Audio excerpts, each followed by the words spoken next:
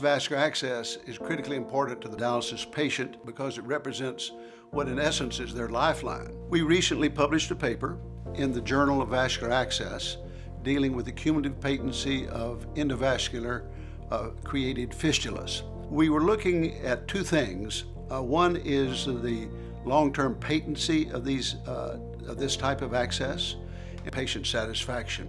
Three people collaborate on this study. Myself, uh, Dr. William Jennings uh, from the University of Oklahoma in Tulsa, and Terry Litchfield, who is a nationally recognized patient uh, advocate. So the gold standard for vascular access for dialysis, that's how a patient hooks up to a machine, is an AV fistula. And fistulas, while life-sustaining, have problems. So almost 50% of the surgically placed fistulas are not able to either be used without significant interventions or are abandoned prior to first use. One of the things that we're excited about with the endovascular fistula is it avoids uh, the creation of a surgical fistula. The endovascular fistula, which is also referred to as a percutaneous fistula, uh, is very easily uh, created involves uh, cannulation of the vein. It can be done in a matter of 15 to 30 minutes. When the procedure is completed, it does not require uh, suturing of a surgical wound. There's only a needle puncture site uh, that can be uh, uh, covered with a, just a small adhesive bandage and the patient is ready to go home.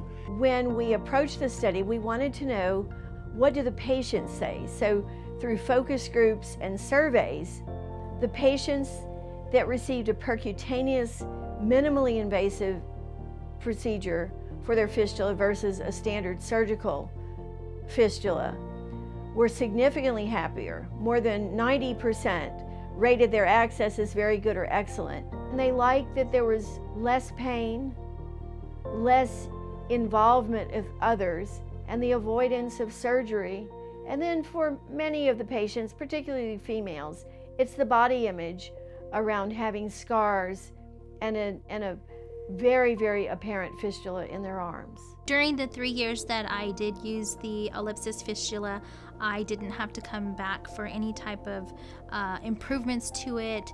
It was uh, no problems during dialysis. You know, there's no lumps, there's no scarring. Most surgical fistulas would leave this was a big thing for me. I didn't want those extra blemishes on my arm already as a dialysis patient.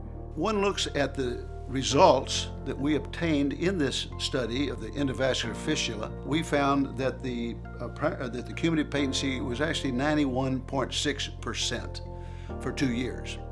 Uh, if one compares that to what is seen with surgically created fistulas, uh, the data there shows about a 60% cumulative patency, so about a 30% difference in these two.